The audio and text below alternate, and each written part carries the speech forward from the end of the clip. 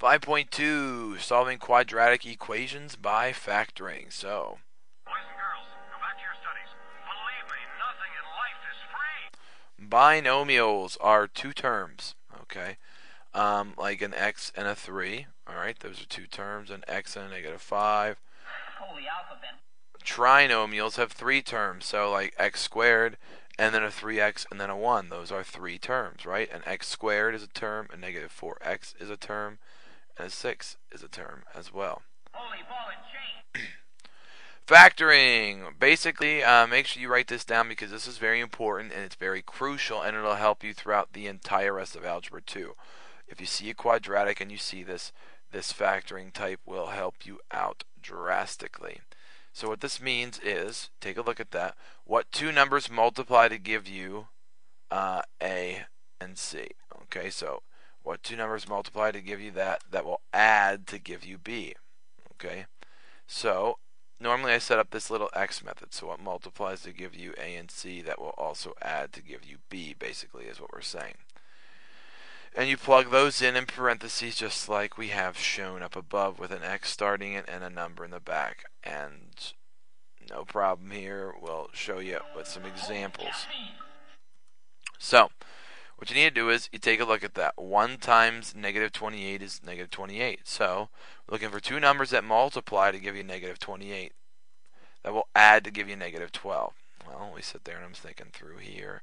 Thinking of multiples, negative 28 years, 7 and 4, right? There's, um, you know, nothing else really crossed my except for 2 and 14, right? So if I made it a negative 14 and a positive 2, right? Negative 14 times positive 2 is negative 28. Negative 14 uh, plus 2 is negative 12. So what that means is I start each of these with an x, and I take whatever this is, which is right here, to minus 14, I plug that in there. I take whatever this is, which is a positive 2, and I plug it in right there. And there's the, the equation factored. And this factoring will help us out drastically on how to solve each of these. Holy fruit salad.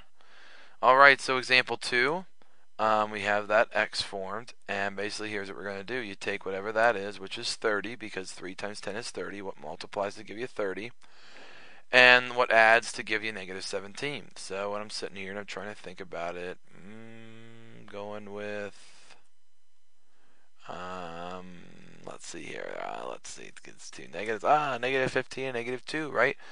Negative 15 times negative 2 is positive 30. Negative 15 plus negative 2 is negative 17, so negative 15 works. But since there's a number in the front of the x, all right, you cannot put it into two factors yet. What you need to do here is we need to rewrite this as something expanded. You see that?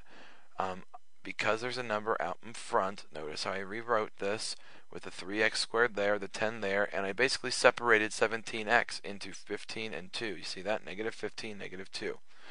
The reason why I separated is we can do a concept called factoring by, by grouping. I'm going to try to factor um, these items. I'm going to try to factor each item. And if I look at this one, they both actually have something in common. Right? I can take an x out of both of these, right? Because they both have an x in common and a 3. I divide each of those by 3 and I divide each of those by an x. I can take a 3x out, which means an x is left over and a negative 5. Over here, if I take a negative 2 out of both of those, right, I have an x and a negative 5 left over. The key to factoring by grouping is making sure that these two items are exactly the same. See how these two items are exactly the same? You need to make sure they're the same. So then when you factor by grouping, you take whatever item is out in front, and you get a 3x minus 2, and whatever item is in the end, you combine together to get an x minus 5. So there are your factors for problem with a number out in front. So special factoring patterns, difference of two cubed or two squares.